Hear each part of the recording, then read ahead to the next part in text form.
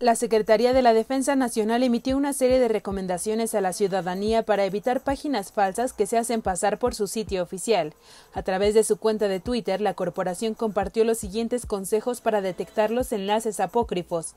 Observa el dominio web, pues .gov.mx representa a instituciones del Gobierno de México y a empresas estatales y paraestatales de la Administración Federal, lo que garantiza que la información es de carácter oficial, señala la Sedena. En lo que respecta a las cuentas de redes sociales, la Defensa Nacional refiere que la insignia azul sirve para confirmar la autenticidad de las cuentas. Todas las cuentas de redes sociales de Sedena están verificadas, por lo que subrayó la Secretaría, nunca solicita pagos anticipados de ninguna naturaleza y tampoco utiliza servicios de mensajería instantánea para realizar algún trámite.